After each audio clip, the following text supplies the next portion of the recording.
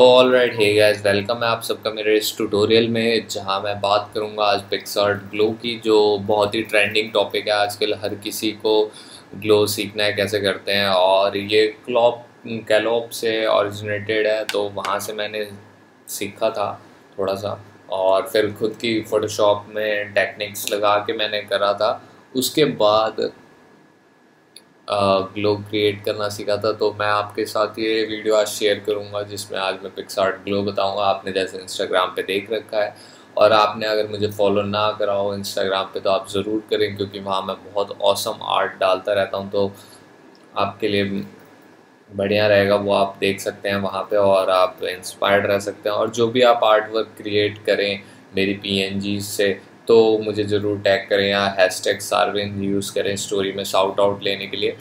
सो so, और अगर आपको ये पी डाउनलोड करनी है तो डिस्क्रिप्शन में टेलीग्राम का लिंक है आप जाके क्लिक करके ज्वाइन कर सकते हैं। वहाँ पे मैं ये फ्री ऑफ़ कॉस्ट शेयर करता हूँ कोई प्रॉब्लम नहीं होती है डायरेक्ट डाउनलोड है। सो so, सबसे पहले स्टार्ट करते हैं। यहाँ बी आया है। बीजी इसकी मैं लिंक शेयर कर दूँगा आपके लिए। अनस्प्लैश से है ये पूरा ठीक है? और कहीं नहीं है।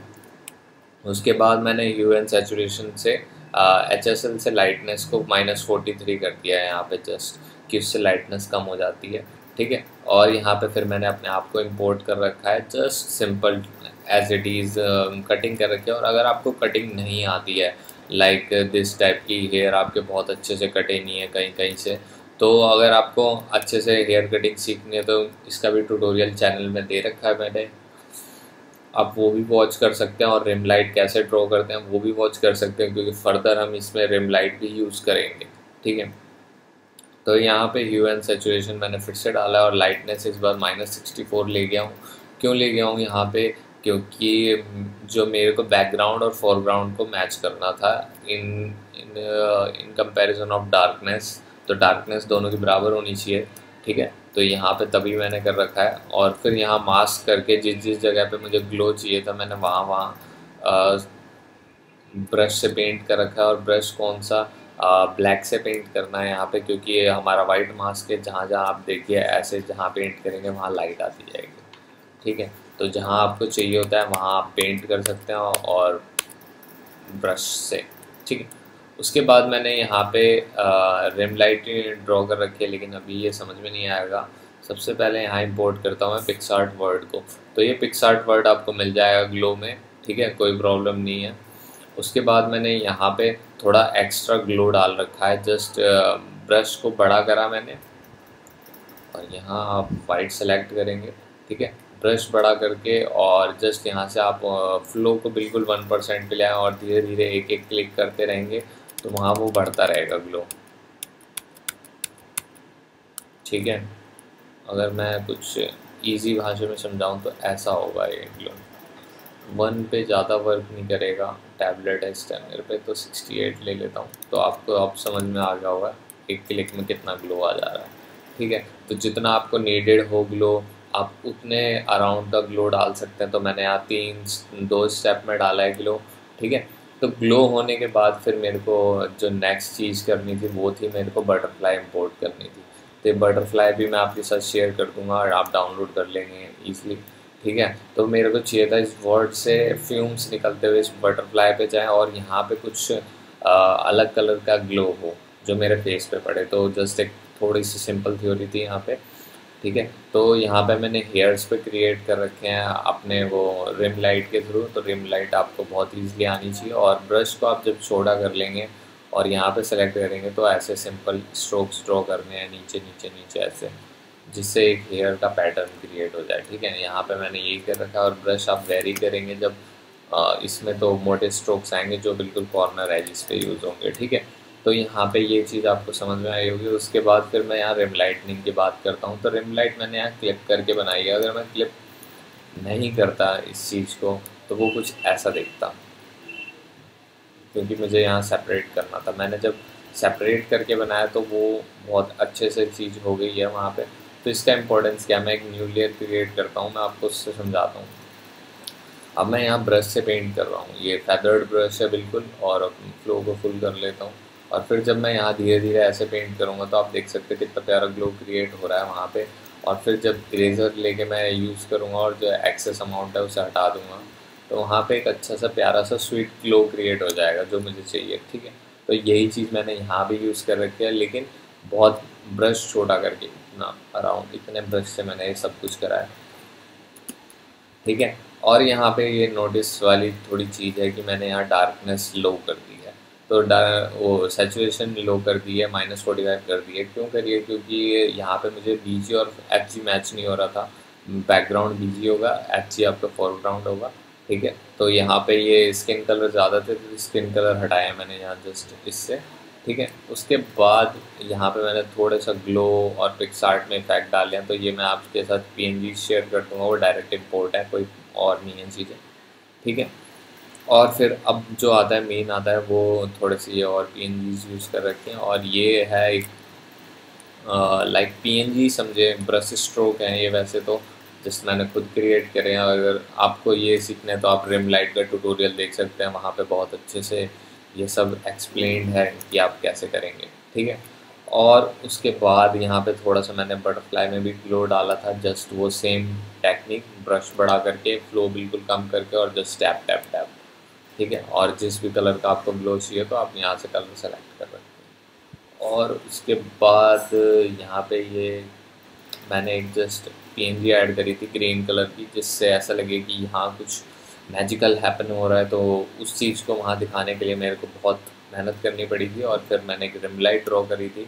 और रिम लाइट बहुत छोटे ब्रश से ड्रॉ कर रखी है मैंने यहाँ पे लाइक कुछ ज़्यादा ही छोटा था। और जस्ट ऐसे ड्रॉ करनी है आपने ये सिंपल ऐसे ऐसे। धीरे धीरे धीरे यहाँ पे ऐसे आना है। ठीक है, आपने अगर यहाँ करनी है तो ऐसे यहाँ पे क्रिएट होगी। और फिर जो एक्सेस हो उसे हटा दीजिएगा, बिल्कुल। ठीक है, जैसे ये निकल रही है बाहर। तो ये सब चीज़ें हटा दीजिएगा इमेज में से। तो वो एक पक्की रिम लाइट वहाँ पे क्रिएट हो जाएगी। ठीक है उसके बाद फिर यहाँ मैंने थोड़े से डस्टी स्पैकल्स डाले थे तो ये भी मैं पीएनजी में शेयर कर दूँगा। स्पैकल्स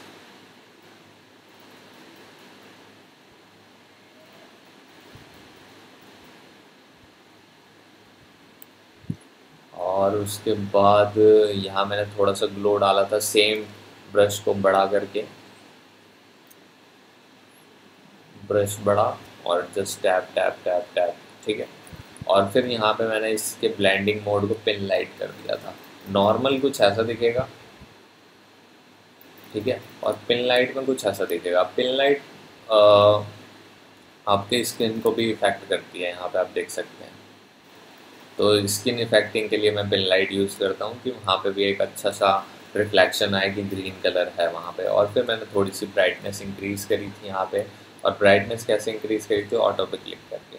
ठीक है? उसके बाद मैंने यहाँ पे कलर ग्रेडिंग कर रखी है जस्ट सिंपल और फिर लोगो इम्पोर्ट जस्ट सिंपल और कैलेंस क्लाउड का ही प्री सेट यूज़ करा हुआ है, और वो आप ग्रुप में ढूंढ सकते हैं, आपको ग्रुप में मिल जाएगा ईजिली थोड़े से ट्वीट्स एंड चेंजेस हैं हल्के से, और ईज़िली आप ऐसी इमेज को क्रिएट कर सकते हैं, और कोई प्रॉब्लम नहीं आएगी आपको।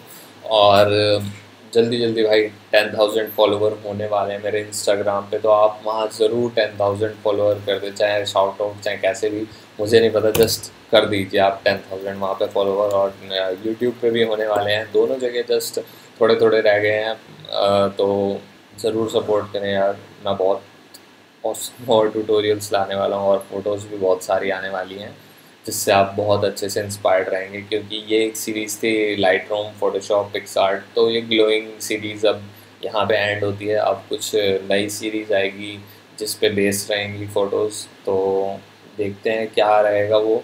और आप सब ज़रूर टैग करें, जो भी आप पी यूज़ करते हैं तो सारी चीज़ें मैं ज़रूर वॉच करता हूँ और डीएम ज़रूर वॉच करता हूँ मैं। डीएम में आप जब भी कुछ लिखें तो आप पूरी प्रॉब्लम लिखें हेलो हाय करके सीधे इतना वो ना करें कि मैं हाई भेजूँगा फिर आप रिप्लाई करेंगे अपने क्वेश्चन से तो ऐसे बहुत ही टाइम लग जाएगा। आप डायरेक्ट अपनी प्रॉब्लम्स लिख दीजिएगा। अगर सॉर्ट आउट होगा तो आ, हो तो मैं ज़रूर सॉल्व करूँगा। और थोड़े डी हैं मेरे पे तो मैं उन्हें भी आ, बता देता हूँ कि क्या क्या चीज़ें हैं भाई। बहुत सारे हैं डीएम तो इसमें सब लिखते हैं कि it's urgent hey bro listen तो ऐसे कोई वो नहीं है भाई, मैं क्या सुनूँ, आप बताओ मुझे डायरेक्ट और एक भाई ने लिखा है, अमर सिंह चौहान ने कि भाई मॉनिटर कौन सा अच्छा है एडिटिंग के लिए? तो एडिटिंग के लिए भाई मैं कोई मॉनिटर यूज़ नहीं करता, मेरा मैकबुक प्रो है और ईज़िली आप देख सकते हैं नेट पर कॉन्फ़िगरेशन क्या है, मेरे को मॉनिटर का कोई आइडिया नहीं है। एंड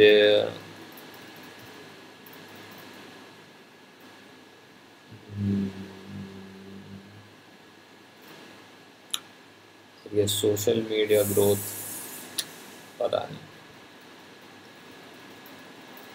अगर आप चाहते हैं कि मैं आप सबकी एक इमेज को लेके एक वीडियो क्रिएट करूँ तो प्लीज़ कमेंट डाउन ज़रूर करें। तो मैं उस पर भी क्रिएट करूँगा जो आपके लिए बेटर रहेगा। और उसमें आप ही को फ़ायदा रहेगा कि मैं आपकी फ़ोटोज़ को ज़रूर वॉच करूँगा। और ये ज़रूर पॉसिबल होगा जब टेन के फॉलोअर्स हो जाएँगे तो मैं ज़रूर वॉच करूँगा आप सबकी फ़ोटो को एक बार। और वो वीडियो पूरी आप सबके बेस्ड होगी और मैं उसमें थोड़ी सी मिस्टेक्स और करेक्शंस बताऊँगा कि आप कैसे कर सकते हैं। तो टेन थाउज़ेंड फॉलोवर होने पे तो बहुत चीज़ें हैं, आनी बाकी हैं। तो ज़रूर सपोर्ट करें।